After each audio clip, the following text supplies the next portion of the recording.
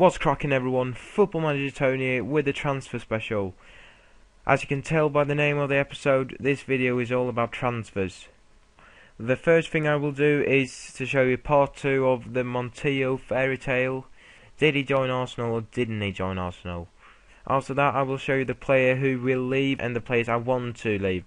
And after that I will show you the players I will bring in. The contract offers are accepted and you know agreed and they will join sooner or later. And in the end of the episode, I'm going to show you a few players that I want to bring in. But now, let's go straight to the resolution of the Montiel fairy tale.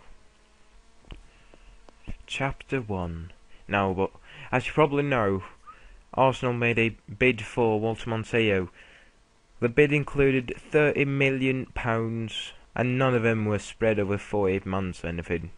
Some people wanted me to sell him, you know, take it, and some people said, "No, keep him. He's your best player," and you know, he is. But um, at the same time, thirty million quid is an awful lot of money, and how on earth am I supposed to reject that? I've never ever been offered that much money on uh, Football Manager, not in real life either, of course. But um, you you know what I mean. So I accepted it. I couldn't do much else, to be quite honest. But then, a few days later, I saw this in my mailbox.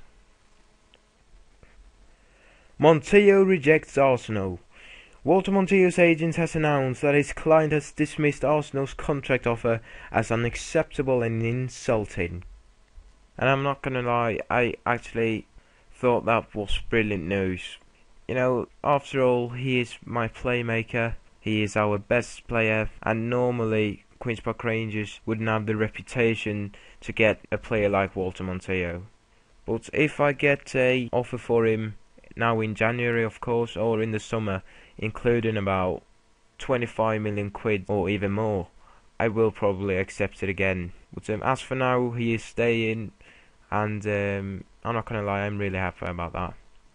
But now let's have a look at the player that actually will leave.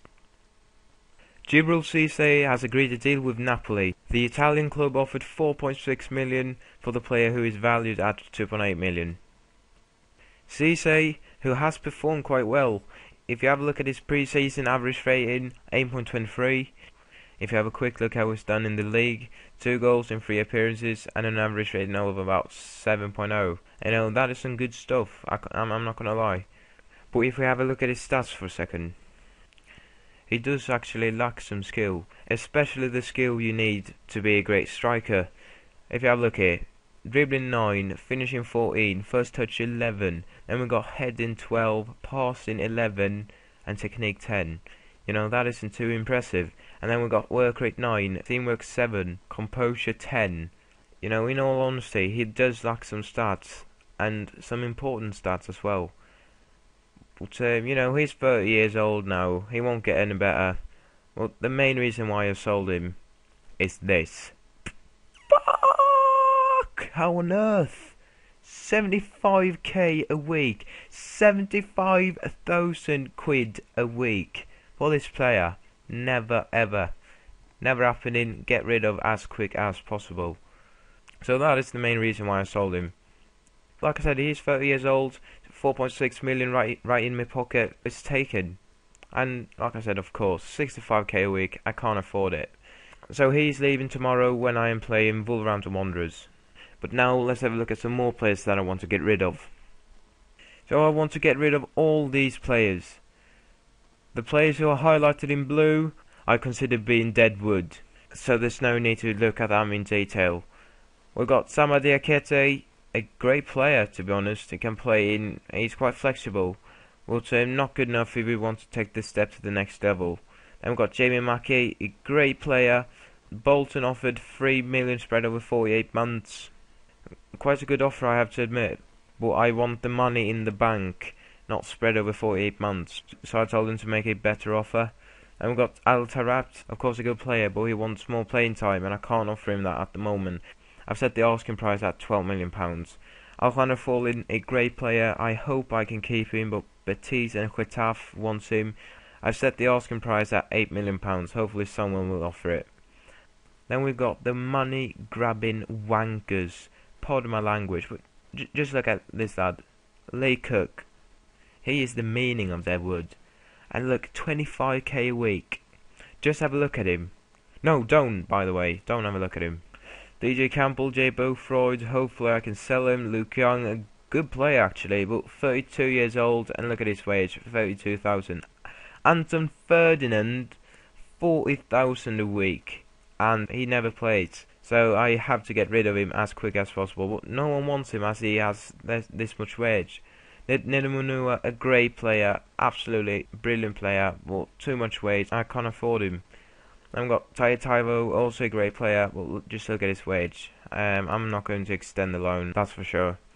Then we got the three Musketeers, Joey Barton, Shaun Wright-Phillips, and Bob Zamora. 65k a week. The thing is, I can't sell him, I can't get rid of him, as no club wants to pay that much wage, so I've absolutely no idea what to do. It, it expires in 2014 though, 2015 fuck. You know, I am in deep shit, to be quite honest, because some of these players' wages are just absolutely ridiculous. But now let's have a look at some more enjoyable things, the players I will join.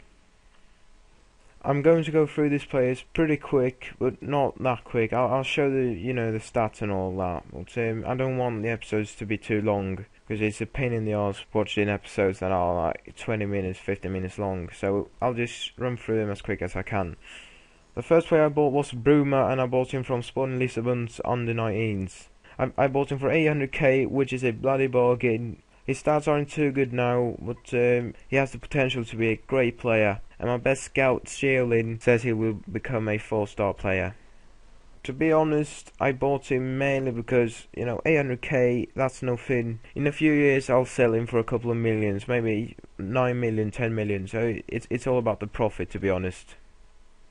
We then signed our second Italian centre-half, Michel Camporese, a 19-year-old from Fiorentina, currently on loan to Pescara's reserves. There's something with Italian centre-halves that I really like, and you know, for 1.4 million, look at his potential. Look at his heading stats, marking, tackling. I think he can make a great couple with Giuseppe Prestia. In a few years, I will have one of the greatest defensive lines in the world. As you probably know, we are in great need of a goalkeeper. I actually bought Lucas Fabianski from Arsenal. Genie Scout told me that I could buy him for 11 million pounds, and I thought, nah, that's way too much. Then Arsenal offered me him for 3 million pounds, and you know, that is a great price. If you're offered a goalkeeper who has been playing for a big club for a couple of years now, he is in his mid 20s and he's got some good stats, not too much wage, and you know, 3 million pounds that's nothing. So it was an easy decision to make. So I'm very happy with this signing. We then signed the monster Carlos Fierro. Seven million pounds. It's an awful lot of money, but I am sure that everyone knows how good this lad can get. I wanted to sign him in the summer, but I didn't have enough cash, so that's why I signed him now. He's not joining in January though, which is a shame he's joining in July. But as you can see, he has the potential to be as good as Fernando Torres, and that says it all, doesn't it? Seven million pounds, I can sell him for forty or fifty million pounds when he's at his top of his peak. We then signed Tobias Figueiredo. I've never actually signed this lad before, but um, I searched for players in Genie Scout, and this lad pops up. I could buy him for 500k, and you know, then of course I buy him. He's got a three and a half star potential. He's got a great first touch, or at least he has the potential to get a great first touch. But the thing is, he this lad doesn't have a future in the club. To be quite honest, I will sell him in a few years. You know, buy him for 500k and sell him for five million. So it's all about earning money with this transfer, to be honest. And the last player I signed was Judivan from Cruzeiros in the 20s. I bought him for 85k, and you know, this is all about the profit as well buy him for 85k and then sell him for a couple of millions in a few years. It's a shame that I have to wait till 2013 though, as he is only 16 years old. But he's got his work permit, and as I said, 85k is a bloody bargain. So um, I, I have to say I am happy with this signing as well. I am happy with all the signings I've made this far, and hopefully I can make a few more signings in this transfer window. Well, that was it for this episode, everyone. I know I told you that I was going to show you a few transfers that I want to make. I think the episode will just get too long and it, just get boring. So I think I'll do a video with all the Wonder Kids and all that instead because the players I want to buy are all Wonder Kids anyway. So I think I'll do that instead. That was it. The transfer special has now come to an end. Please leave a like because I'd love to get this video noticed. That would that would really help me out a lot, and I would appreciate it so much. I really would. Comment if you have any thoughts about the players or anything. If you like the episode, or you know, I I love to interact with you lot. So please do that if you want to, and I will see you in the live versus Wolverhampton. Take care, everyone. I really mean that, and I will see you soon. ta